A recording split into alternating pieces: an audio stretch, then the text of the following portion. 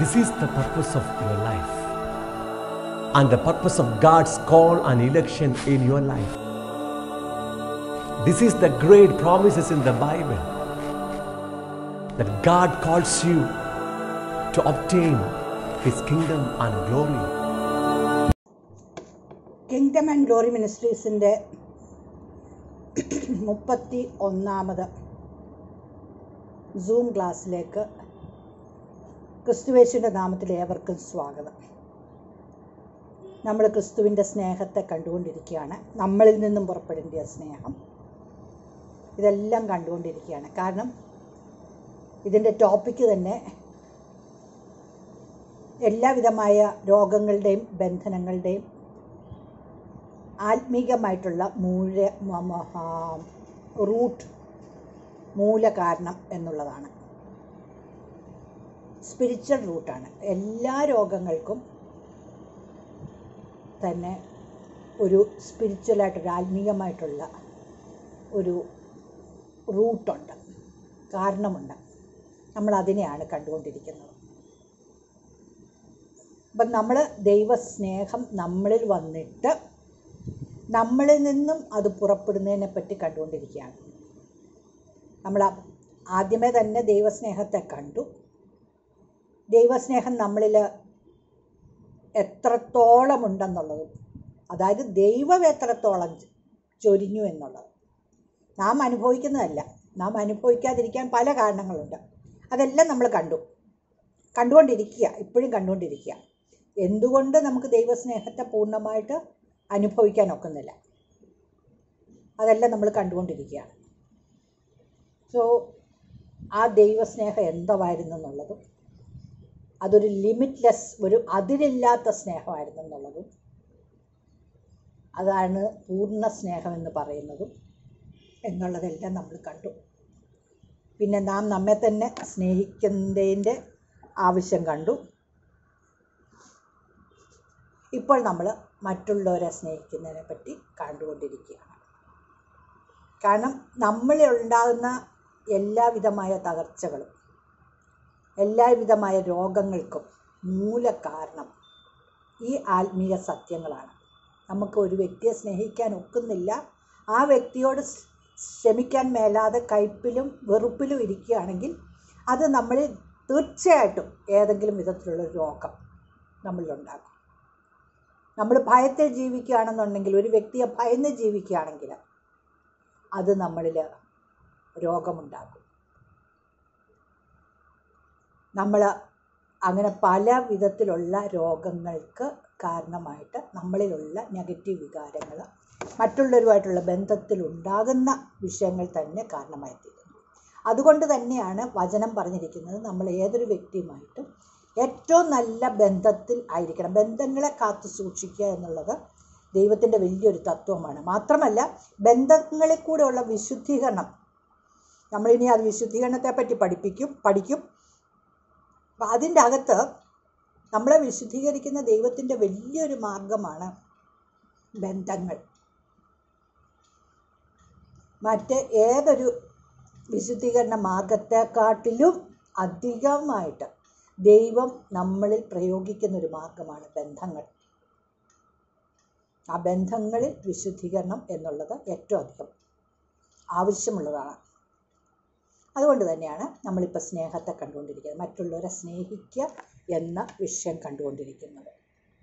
ഗലാത്തർ അഞ്ചിന്റെ ആറ്. അഞ്ചിന്റെ ആറ്.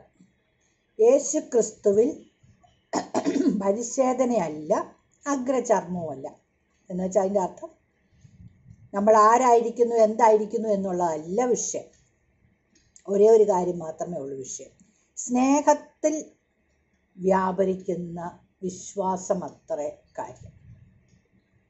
വിശ്വാസം സ്നേഹത്താൽ സ്നേഹത്തിലല്ല സ്നേഹത്താൽ വ്യാപരിക്കുന്ന വിശ്വാസം. അപ്പം വിശ്വാസത്തിന്റെ അടിസ്ഥാനത്തിൽ ഒരു അവിടെ ഒരു ഒരു കാര്യമുണ്ട്. സ്നേഹം. ആ സ്നേ വിശ്വാസം പോലും സ്നേഹത്തിൽ നിന്ന് ഉത്ഭവിക്കുന്നത് ആയിരിക്കണം. അതായത് ഇംഗ്ലീഷിൽ പറഞ്ഞേക്കുന്നത് ഫെയ്ത്ത് വർക്കിംഗ് ത്രൂ ലവ് സ്നേഹത്തിലൂടെ അങ്ങ് പ്രവർത്തിക്കുന്ന വിശ്വാസം. ഒന്ന് കോരിന്തിയർ പത് പതിമൂന്നാം അധ്യായത്ത് ഞാൻ അതിന്റെ ചില വാക്യങ്ങൾ എടുത്ത് ചുരുക്കി അങ്ങോട്ടൊന്ന് എഴുതിയിരിക്കുകയാണ്. ആ വിശ്വാസവും സ്നേഹവും തമ്മിൽ ഉള്ള ബന്ധത്തെ അവിടെ പറഞ്ഞിരിക്കുന്നതിൽ കുറച്ച് ഭാഗം എടുത്ത് പറഞ്ഞിരിക്കുകയാണ്. മലകളെ നീക്കുവാനുള്ള സ്നേഹം ഉണ്ടായാലും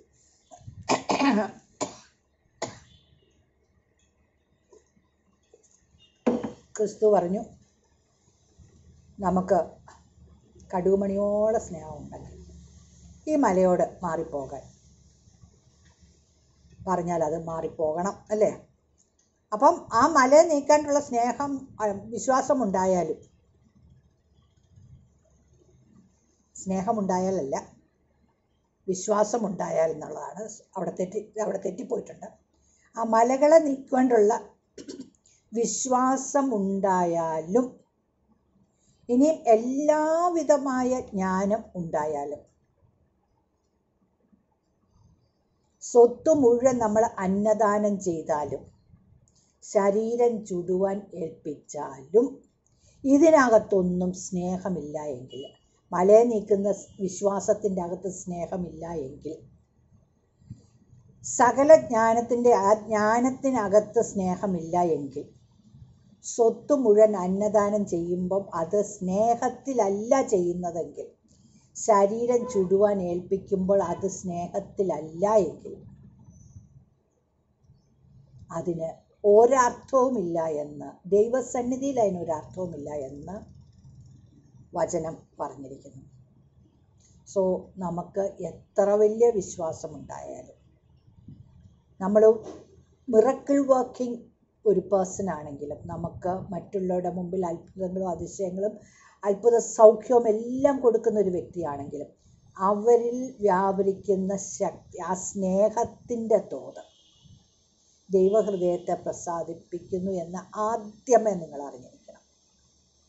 ഏതൊരു പ്രവൃത്തി നമ്മൾ ചെയ്യുമ്പോൾ അതിനകത്ത് സ്നേഹം വ്യാപരിക്കുന്നുണ്ടെങ്കിൽ അത് ദൈവഹൃദയത്തെയാണ് പ്രസാദിപ്പിക്കുന്നത്. ഇനി സ്നേഹം എന്ന് പറയുന്നത് ന്യായപ്രമാണ നിവൃത്തിയാണ്. റോമർ പതിമൂന്നിന്റെ എട്ടിൽ പറയുന്നുണ്ട്. അന്യരെ സ്നേഹിക്കുന്നവൻ എട്ടിന്റെ അവസാന രണ്ടാം ഭാഗമാണ്.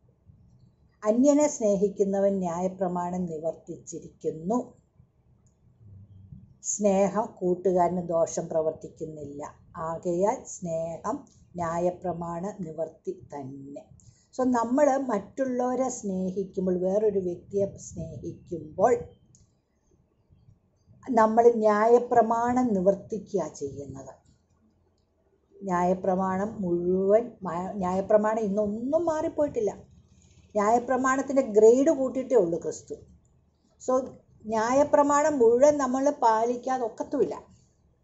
ഇന്ന് ക്രിസ്തു ക്രിസ്തുവിലാണ് ക്രിസ്തുവിൽ ക്രിസ്തു അതിനെ മുഴുവൻ അനുസരിച്ച് മരിച്ചതുകൊണ്ട് ഇന്ന് ക്രിസ്തു യേശുവിൽ വിശ്വസിക്കുന്ന അവൻ ചെയ്ത പ്രവൃത്തികളിൽ വിശ്വസിക്കുന്ന നമ്മളുടെ പ്രവൃത്തി ആ വിശ്വാസത്തെ ന്യായപ്രമാണം മുഴുവൻ നിവർത്തിച്ചതായിട്ട് ദൈവം കണക്കിടുന്നു അക്കൗണ്ട് ചെയ്യുന്നു.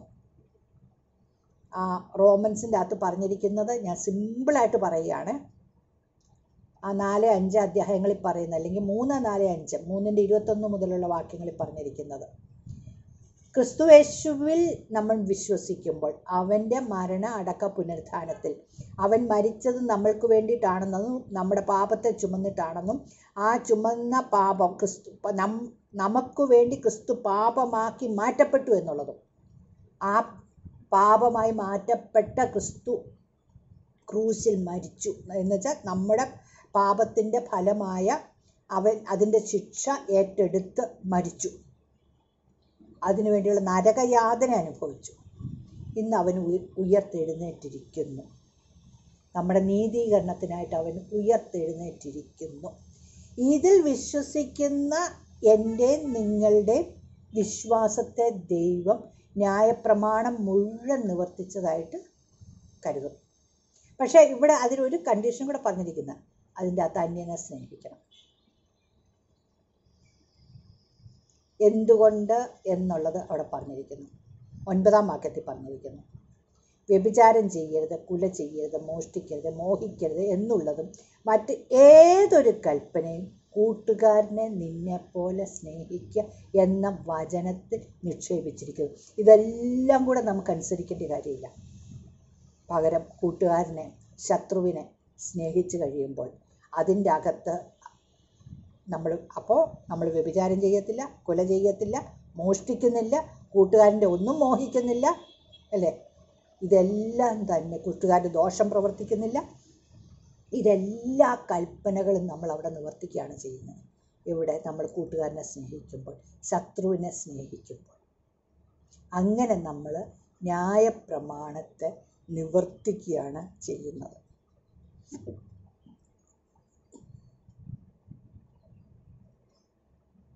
ഒന്ന് കൊരിന്തിയർ പതിമൂന്നിന്റെ അഞ്ചിൽ പറഞ്ഞിരിക്കുന്ന ചില കാര്യങ്ങളുണ്ട്.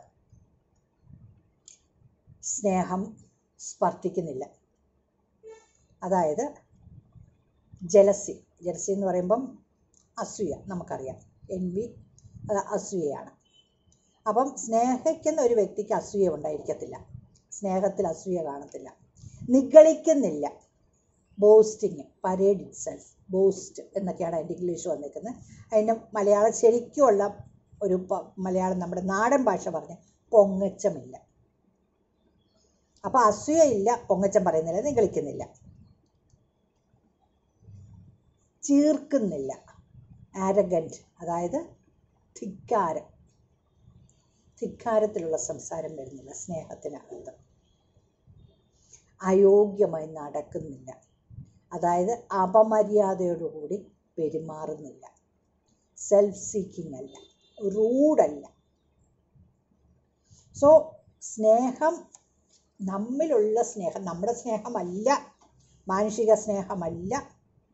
ആ മാനുഷിക സ്നേഹത്തെ പോലും ദൈവസ്നേഹം കൊണ്ട് നിറയ്ക്കണം. ഇല്ലെങ്കിൽ മാനുഷിക സ്നേഹം പുറപ്പെടും. അതാ നമ്മുടെ മാനുഷികമായിട്ടുള്ള സ്വഭാവങ്ങൾക്കൊരു പ്രത്യേകതയുണ്ട്. അവിടെ ദൈവത്തിന്റെ സ്വഭാവം കൊണ്ട് അതിനെ നമ്മൾ നിറച്ചില്ല എങ്കിൽ. ആ നമുക്കുള്ള മാനുഷിക നന്മകൾ പോലും മാറിപ്പോകണം. പകരം ദൈവത്തിന്റെ നന്മകൾ കൊണ്ട് നിറയപ്പെടണം. നമ്മുടെ നെഗറ്റീവ് മാത്രമല്ല പോസിറ്റീവും മാറിപ്പോകണം. ഇല്ല എങ്കിൽ അവിടെ ഒരു ഞാനുണ്ട്. ഞാൻ ആയ് ആയ് ആയ്. അസ്വയം എഴുന്നേറ്റ് വരും. ഞാൻ സ്നേഹിച്ചു.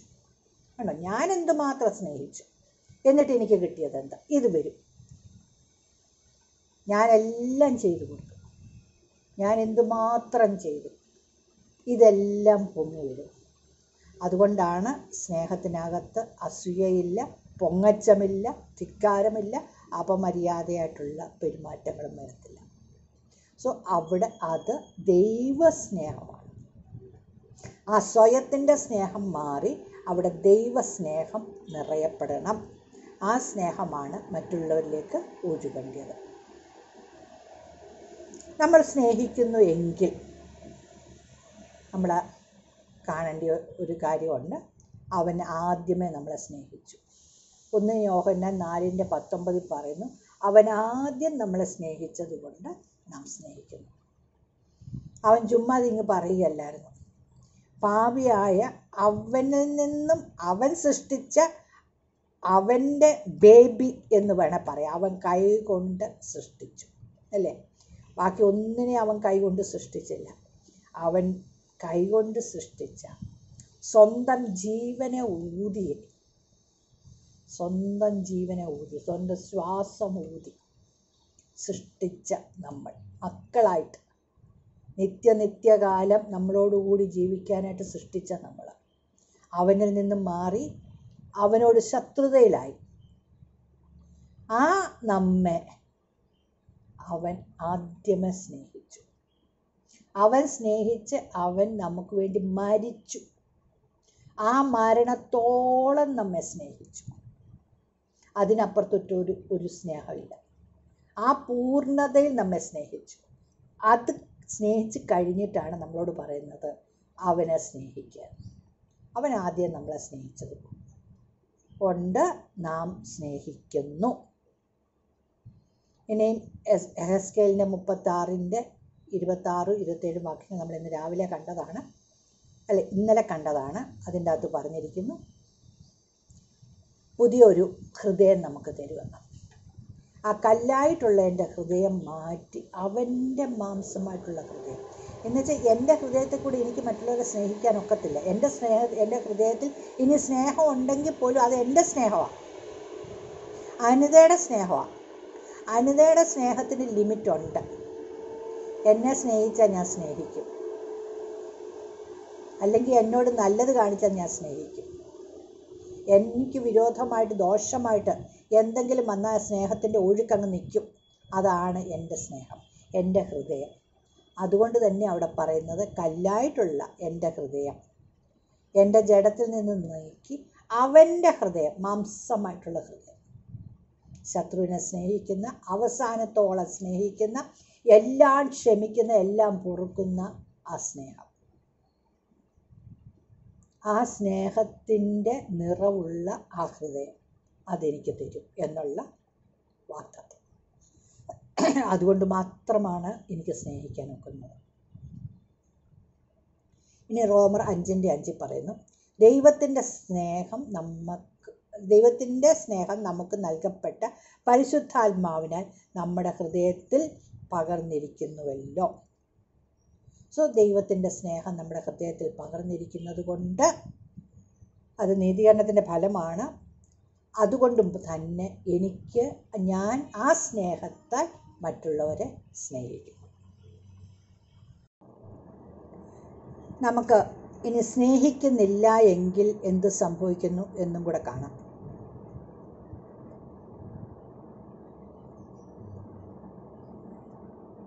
ദൈവം എന്നെ സ്നേഹിച്ചതുപോലെ തന്നെ ആ വ്യക്തിയെ സ്നേഹിച്ചു. ഏത്? ഞാൻ ശത്രു എന്ന് പറയുന്ന എന്നെ തകർത്ത അല്ലെങ്കിൽ എന്റെ കുടുംബത്തെ തകർത്ത എന്റെ എല്ലാം തകർത്ത എന്റെ ബിസിനസ് തകർത്ത ആരും ആയിക്കോട്ടെ. ആ വ്യക്തിയെ അവന് വേണ്ടിയൂടാണ് മരിച്ചത്. ദൈവം സ്വന്തം പുത്രനേക്കാൾ അവനെ സ്നേഹിച്ചു.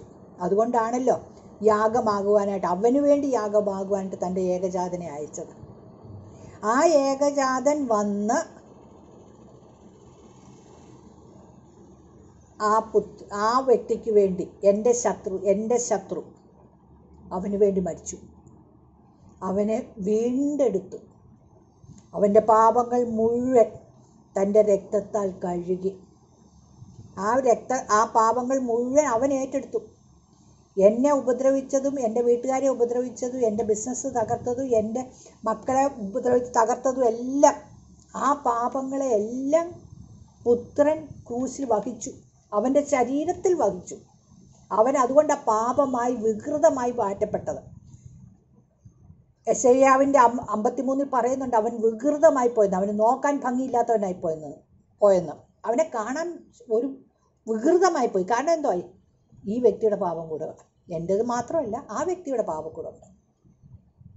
അങ്ങനെ അവൻ എല്ലാ പാപങ്ങളും ആ വ്യക്തി എന്നെ എനിക്കെതിരായിട്ട് ചെയ്തിട്ടുള്ള എല്ലാ പാപവും ഏറ്റെടുത്ത് ആ ഏകജാതൻ ക്രൂശി മരിച്ചു.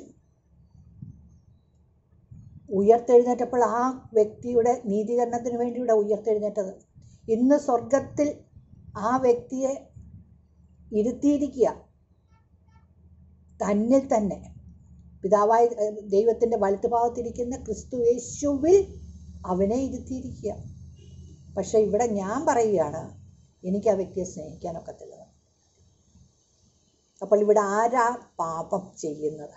ആ വ്യക്തിയുടെ പാപം ഇപ്പോഴും ഞാൻ ചുമന്നുകൊണ്ടിരിക്കുക.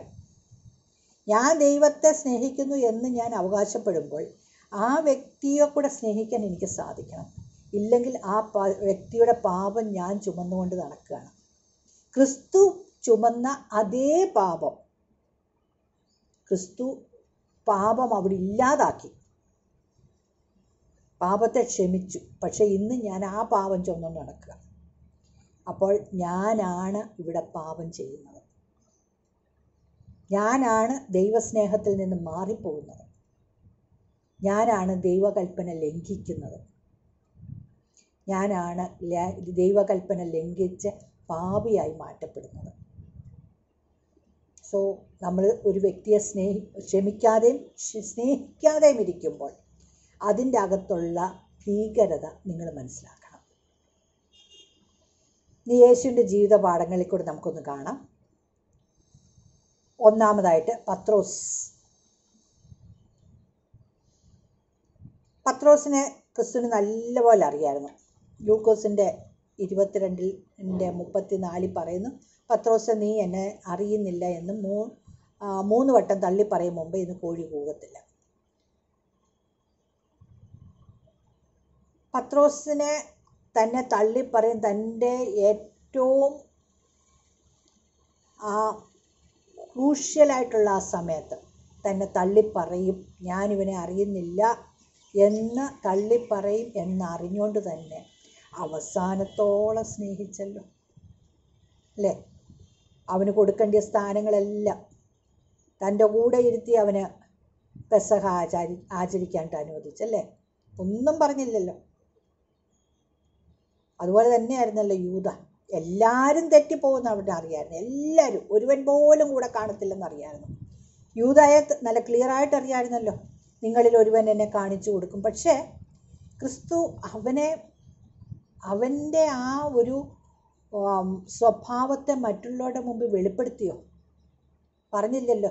ഇവൻ കള്ളനാ. മോഷ്ടാവാ. അവൻ പൈസ മോഷ്ടിക്കുന്നുണ്ട്. നിങ്ങളുടെ ഒരു കണ്ണ് അവന്റെ മേൽ വേണം. അല്ലെങ്കിൽ അവന്റെ കയ്യിൽ നിന്ന് ആ പണസഞ്ചി മേടിച്ച് ഞാൻ നിന്റെ കയ്യിലോട്ട് തരാമെന്ന് ആരോടും പറഞ്ഞില്ലല്ലോ. അവസാനത്തോളം ക്രിസ് യൂതായെ അറിഞ്ഞുകൊണ്ട് തന്നെ ആ യൂതായുടെ മാനത്തെ അവൻ കാണിച്ചല്ലോ. മൂന്നാമതൊരു വ്യക്തിയോട് സംസാരിച്ചില്ലല്ലോ. യേശുവിന്റെ ജീവിതത്തിൽ നിന്ന് നമ്മൾ പഠിക്കേണ്ട ഒരു പാഠമാണ്. മറ്റുള്ളവരുടെ പാപത്തെ കവർ ചെയ്യുന്നത് എങ്ങനെയാണെന്നുള്ളത് അതിനെ വെളിപ്പെടുത്താതിരിക്കുന്നത് എങ്ങനെയാണെന്നുള്ളതും ആ കണക്ക് പുസ്തകത്തെ കീറിക്കളയുന്നത് എങ്ങനെയാണെന്നുള്ളതും ക്രിസ്തു ഉയർത്തെഴുന്നേറ്റ ക്രിസ്തുവിന്റെ ആ സ്നേഹത്തിൽ കൂടെ നമുക്ക് പഠിക്കേണ്ട പാഠമാണ്. ക്രിസ്തു അവസാനം വരെ അവരെ സ്നേഹിച്ചു. നിങ്ങൾ ദൈവത്തെ സ്നേഹിക്കുന്നു എന്ന് എങ്ങനെ തിരിച്ചറിയാം? സോ അത് വചനത്തിൽ തന്നെ നമുക്കൊന്ന് കാണാം. ദൈവത്തെ സ്നേഹിക്കുന്നു എന്ന് നമ്മൾ പറയുമ്പോൾ ഈ അടയാളങ്ങളൊക്കെ നമുക്കുണ്ടോ എന്നുള്ളത് നമ്മളൊന്ന് നോക്കുക. യോഹന്നാൻ പതിനാലിന്റെ പതിനഞ്ച്. നിങ്ങൾ എന്നെ സ്നേഹിക്കുന്നുവെങ്കിൽ എന്റെ കൽപ്പനകളെ കാത്തുകൊള്ളും. പതിനാലിന്റെ ഇരുപത്തിമൂന്നിൽ പറയുന്നു എന്നെ സ്നേഹിക്കുന്നവൻ എന്റെ വചനം പ്രമാണിക്കും. ഇനിയും പതിനഞ്ചിന്റെ പത്തിൽ പറയുന്നു നിങ്ങൾ എന്റെ കൽപ്പനകൾ പ്രമാണിച്ചാൽ എന്റെ സ്നേഹത്തിൽ വസിക്കും. സോ ഇതെല്ലാം ഒരു കാര്യമാണ് പറയുന്നത്. ആ അവന്റെ ആ കൽപ്പന കാക്കുന്ന കാര്യമാണ് പറയുന്നത്. നിങ്ങൾ എന്നെ സ്നേഹിക്കുന്നു എങ്കിൽ അല്ലേ? നമ്മൾ നമ്മുടെ ടോപ്പിക്ക് പോലും അതാണ്. നമ്മൾ ദൈവത്തെ സ്നേഹിക്കുന്നു എന്ന് എങ്ങനെ തിരിച്ചറിയാം? നിങ്ങൾ എന്നെ സ്നേഹിക്കുന്നുവെങ്കിൽ എന്റെ കൽപ്പന കാണി കാത്തുകൊള്ളും. എന്നെ സ്നേഹിക്കുന്നവൻ എന്റെ വചന അനുസരിക്കും. നിങ്ങൾ എന്റെ കൽപ്പനകൾ പ്രമാണിച്ചാൽ എന്നെ സ്നേഹത്തിൽ വസിക്കും. സോ ഇനി അവന്റെ കൽപ്പന എന്തുവാണ്? പതിനഞ്ചിന്റെ പന്ത്രണ്ടിൽ പറയുന്നു ഞാൻ നിങ്ങളെ സ്നേഹിക്കുന്നത് പോലെ നിങ്ങളും തമ്മിൽ തമ്മിൽ സ്നേഹിക്കണം എന്നാകുന്നു എന്റെ കൽപ്പന. ഞാൻ നിങ്ങളെ സ്നേഹിക്കുന്നത് പോലെ. കണ്ടോ? അവിടെ ഒരു കണ്ടീഷനുണ്ട് മാനുഷിക സ്നേഹമല്ല മാനുഷിക സ്നേഹം കൊണ്ടൊക്കത്തില്ല അത് നിങ്ങൾ ശ്രമിക്കുകയും ചെയ്യണ്ട. ഞാൻ ശ്രമിച്ച് നോക്കിയിട്ടുള്ളതാണ്. ശ്രമിച്ച് തോറ്റുപോയിട്ടുള്ളതാണ്. നമുക്കൊക്കത്തില്ല. അവിടെ അവന്റെ സ്നേഹം വേണം. അവന്റെ കൃപയാൽ അവന്റെ സ്നേഹത്തെ സ്വീകരിച്ച് ആ സ്വീകരിക്കുന്ന സ്നേഹം മാത്രമേ നമുക്ക് തിരിച്ചും നൽകാനായിട്ട് ഒക്കത്തുള്ളൂ.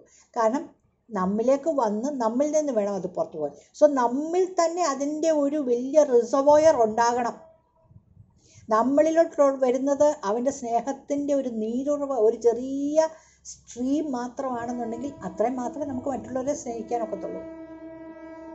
സോ അവനിൽ നിന്നും നമ്മിലേക്ക് വരുന്ന ആ സ്ട്രീം അത് അതിനെ വർദ്ധിപ്പിക്കണം നമുക്ക്. അതിന്റെ ഒരു വലിയൊരു റിസർവോയർ തന്നെ ഉണ്ടായിരിക്കണം നമ്മളിൽ. അങ്ങനെ ആവുമ്പോഴാണ് നമ്മളിൽ നിന്ന് ജീവജല നദികൾ ഒഴുകുന്നത്. ജീവജല നദികൾ നമ്മിൽ നിന്ന് ഒഴുകണം എന്നാണ് വചനം പറഞ്ഞിരിക്കുന്നത്. സോ ആ ജീവജല നദികൾ ഒഴുകാൻ വേണ്ടി നമ്മുടെ ഹൃദയം ആദ്യമേ അവന്റെ സ്നേഹത്തെ സ്വീകരിക്കത്തക്കവണ്ണം പാകമാക്കണം. അതിന്റെ നമ്മുടെ സ്നേഹ അവന്റെ സ്നേഹത്തെ സ്വീകരിക്കണമെന്നുണ്ടെങ്കിൽ നമ്മുടെ സ്വയത്തിന്റെ പ്രവൃത്തികൾ അവസാനിക്കണം. നം അവനോട് നമ്മുടെ വെറുപ്പിന്റെ കാര്യം നമ്മൾ ആരെയൊക്കെ വെറുക്കുന്നുണ്ട് നമ്മൾക്ക് ആരെയൊക്കെ സ്നേഹിക്കാൻ മേലത് എന്നുള്ളത് നമ്മൾ ക്ലിയറായിട്ട് അവനോട് സംസാരിക്കണം. കർത്താവ് ഇവരെയൊക്കെ എനിക്ക് സ്നേഹിക്കാം നിന്റെ കൽപ്പന അനുസരിച്ച് എനിക്ക് ജീവിക്കാം കർത്താവ് ഒരു വ്യക്തിയോട് പോലും എനിക്ക് ക്ഷമിക്കാൻ മേലാതെ സ്നേഹിക്കാൻ മേലാതെ ഇരിക്കരുത്. എല്ലാ വ്യക്തികളെയും ഒരുപോലെ നിന്റെ കൽപ്പനപ്രകാരം പൂർണമായിട്ട് സ്നേഹിക്കാണ്ട് എനിക്ക് നോക്കണം കാരണം ആ ഒരു വ്യക്തി എന്റെ നിത്യതയ്ക്ക് തടസ്സമായിട്ട് നിൽക്കാൻ പാടില്ല. നിങ്ങൾ ഓർത്തോണം നിങ്ങളൊരു വ്യക്തിയോട് ക്ഷമിക്കാൻ മേലാതെ സ്നേഹിക്കാൻ മേലാതെ ഇരിക്കുമ്പോൾ നിങ്ങൾ കൽപ്പന ലംഘിക്കുകയാണ്. കൽപ്പന ലംഘിച്ചവന് നിത്യതയിൽ എങ്ങനെ പ്രവേശിക്കാൻ ഒക്കും? അത് നിങ്ങൾ ആലോചിച്ചോണം. കൽപ്പനാ ലംഘനം പാപമാണ്. ആ പാപം പാപത്തിൽ വസിക്കുന്ന ഒരുവന് ക്രിസ്തുവിന്റെ മണവാട്ടി സഭയിൽ എങ്ങനെ പ്രവേശനം ലഭിക്കും? ഇനി മക്കളാണെങ്കിൽ ആണല്ലോ? നമ്മളെ വീണ്ടും നമ്മളെ ജനിപ്പിച്ചതിന്റെ ഉദ്ദേശം എന്തോ? നമ്മളെ സൃഷ്ടിച്ചതിന്റെ ഉദ്ദേശം എന്തോ? ഒന്ന് മാത്രം അവന് നിത്യതയിൽ ഒരു കുടുംബം വേണം. നിത്യതയിൽ അവന് മക്കളെ വേണം. അപ്പോൾ മക്കളാണെങ്കിൽ നമ്മുടെ വീണ്ടും ജനനത്തിലൂടെ പ്രവേശിച്ച ആ മക്കൾ എന്ന സ്ഥാനത്തിൽ ആണെങ്കിൽ നമ്മൾ അങ്ങനെ ആണെങ്കിൽ മത്താടി സുവിശേഷം അഞ്ചിന്റെ നാൽപ്പത്തെട്ടിൽ പറയുന്നു ആകയാൽ നിങ്ങളുടെ സ്വർഗീയ പിതാവ് സൽഗുണപൂർണൻ ആയിരിക്കുന്നത് പോലെ നിങ്ങളും സൽഗുണപൂർണരാകുവിൻ. കണ്ടോ? പുത്രത്വത്തിന്റെ ഒരു തെളിവാണ്. നമ്മൾ മറ്റുള്ളവരെ സ്നേഹിക്കുന്നത്. സൽ എല്ലാ ഗുണങ്ങളുടെയും പൂർത്തിയ പൂർത്തീകരണമാണ്. സൽഗുണപൂർണരാകുവിൻ എന്ന് പറഞ്ഞിരിക്കുന്നു. അപ്പനെ പോലെ ആയിരിക്കണം മക്കളും അത്രയും മാത്രമേ ഉള്ളൂ. ചുരുക്കം പറഞ്ഞാൽ അതാണ്. അപ്പന്റെ സ്വഭാവം എന്തോ അതായിരിക്കണം മക്കളും. ഇനി നമ്മുടെ ലക്ഷ്യം അതുകൂടെ ഒന്ന് കാണാം. ഇവിടെ പറഞ്ഞിരിക്കുന്നു. ഹൃദയശുദ്ധിയുള്ളവർ അനുഗ്രഹിക്കപ്പെട്ടവർ അവർ ദൈവത്തെ കാണും. നമ്മുടെ ഹൃദയം ശുദ്ധിയുള്ളതാണോ? എങ്കിൽ മാത്രമേ ദൈവത്തെ കാണാനൊക്കത്തുള്ളൂ അർത്ഥം നിത്യത. നിത്യമായി അവന്റെ കൂടെ ജീവിക്കാനൊക്കത്തുള്ളൂ നമ്മുടെ ജീവി നമ്മുടെ ഹൃദയത്തിൽ കയ്പും വെറുപ്പും ക്ഷമിക്കാൻ മേലാത്ത അവസ്ഥയുമുണ്ടെങ്കിൽ ദൈവത്തെ കാണുകയില്ല എന്ന് ഞാൻ ഉറപ്പിച്ച് വചനം എടുത്ത് ഉറപ്പിച്ച് പറയുകയാണ്. അതുകൊണ്ട് തന്നെ നമ്മൾ ഹൃദയശുദ്ധി ഉള്ളവരായിരിക്കണം. ഇനി ദൈവം നമ്മിൽ നിന്നും എന്ത് പ്രതീക്ഷിക്കുന്നു അതുകൂടെ കാണാം. റോമർ പതിനഞ്ചിന്റെ അഞ്ച് മുതൽ ഏഴ് വരെയുള്ള വാക്യങ്ങളാണ്. റോമർ പതിനഞ്ചിന്റെ അഞ്ച് മുതൽ ഏഴ് വരെയുള്ള വാക്യങ്ങൾ. നിങ്ങൾ ഐക്യമത്യപ്പെട്ട നമ്മുടെ കർത്താവായ യേശു ക്രിസ്തുവിന്റെ പിതാവായ ദൈവത്തെ ഏക മനസ്സോടെ ഏക ആത്മാവിനാൽ മഹത്വീകരിക്കേണ്ടതിന് സ്ഥിരതയും ആശ്വാസവും നൽകുന്ന ദൈവം നിങ്ങൾക്ക് യേശുക്രിസ്തുവിന് അനുരൂപമായി തമ്മിൽ ഏകചിന്തയോടിരിപ്പാൻ കൃപ നൽകുമാറാകട്ടെ. കണ്ട ഒരു ഐക്യതയാണ് കാണിക്കുന്നത് അവിടെ. ഏകചിന്ത അനു യേശുക്രിസ്തുവിന് അനുരൂപമായി ഏകചിന്തയോടെ വണ്ണസ് ഇൻ തോട്ട് കൃപ ഉണ്ടോ? കൃപ നൽകുമാറാകട്ടെ. അപ്പം ഏകത അവിടെ വരുന്നു. അതുകൊണ്ട് ക്രിസ്തു ദൈവത്തിന്റെ മഹത്വത്തായി മഹത്വത്തിനായി നിങ്ങളെ കൈക്കൊണ്ടതുപോലെ അന്യോന്യം കൈക്കൊള്ളുകയും എങ്ങനെ കൈക്കൊള്ളുവാൻ? കൈക്കൊള്ളുവാൻ നമുക്ക് സാധിക്കുന്നത്? സ്നേഹം. സ്നേഹത്തിൽ മാത്രമേ അത് സാധ്യമാകത്തുള്ളൂ നമ്മൾ ഏകചിന്തയോടെ. എന്നുവെച്ചാൽ നമ്മുടെ ചിന്തകളിൽ പോലും ഒരൈക്യമുണ്ടാകുവാനായിട്ട്. ഏകചിന്തയോടെ. അവിടെ ഒരു ഡിവിഷൻ അല്ല. തമ്മിൽ തമ്മിൽ ഒരു ഡിവിഷൻ അല്ല. കുടുംബത്തിലും സഭയിലും ഉള്ള ഡിവിഷൻ അല്ല. ആ ഡിവിഷൻ ഒന്നുമില്ലാതെ ഏകചിന്തയോടെ ഇരിപ്പാനായിട്ട് കൃപ നൽകുമാറാകട്ടെ.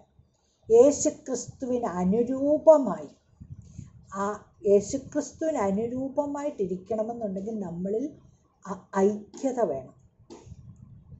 അപ്പം ദൈവത്തിന്റെ മഹത്വത്തിനായി ക്രിസ്തു നമ്മളെ കൈക്കൊണ്ടതുപോലെ നമ്മളും അന്യോന്യം കൈക്കൊള്ളണം. സോ നമ്മൾ ആ സ്നേഹത്തിലൂടെ മറ്റൊരു വ്യക്തിയെ കൈക്കൊള്ളണം. നമുക്ക് കൈക്കൊള്ളാൻ പ്രയാസമാണ്. എനിക്കത് അറിയാം നല്ലപോലെ അറിയാം. അത് നല്ലതുപോലെ ആ പ്രയാസം ഞാൻ അനുഭവിച്ചിട്ടുള്ളതുമാണ്. ഇന്നും പലപ്പോഴും ഒരു എഫേർട്ട് ഇട്ട് തീരുമാനം എടുക്കാതെ പലരെ സ്നേഹിക്കാൻ എനിക്കൊക്കത്തില്ല അവിടെ ദൈവത്തിന്റെ കൃപ നമ്മൾ ചോദിച്ചോണം. ദൈവത്തിന്റെ കൃപയാൽ മാത്രമേ ഇത് സാധ്യമാകത്തുള്ളൂ. സോ നിങ്ങൾക്ക് അതിന് ദൈവം നിങ്ങൾക്ക് കൃപ ചെയ്യുമാറാകട്ടെ. ക്രിസ്തുവേശുവിന്റെ നാമത്തിൽ പിതാവായ ദൈവമേ ഈ കേൾവിക്കാരെ എല്ലാവരെയും ഞാൻ അനുഗ്രഹിച്ച് പ്രാർത്ഥിക്കുന്നു.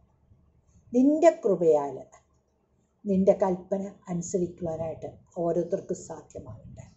തങ്ങളുടെ കല്ലായിട്ടുള്ള ഹൃദയത്തെ അവരുടെ ജഡത്തിൽ നിന്ന് നീക്കി മാംസമായിട്ടുള്ള നിന്റെ ഹൃദയത്തെ സ്വീകരിച്ച് ആ ഹൃദയത്തിലൂടെ നിന്റെ വചനത്തെ അനുസരിക്കുവാനായിട്ടുള്ള കൃപ ഓരോരുത്തർക്കും ഉണ്ടാകട്ടെ. അങ്ങനെ ഞാൻ പിതാവിന്റെയും പുത്രന്റെയും പരിശുദ്ധാത്മാവിന്റെയും നാമത്തിൽ ഇവരെ എല്ലാം അനുഗ്രഹിച്ച് പ്രാർത്ഥിക്കുന്നു. ക്രിസ്തു യേശുവിന്റെ നാമത്തിൽ തന്നെ.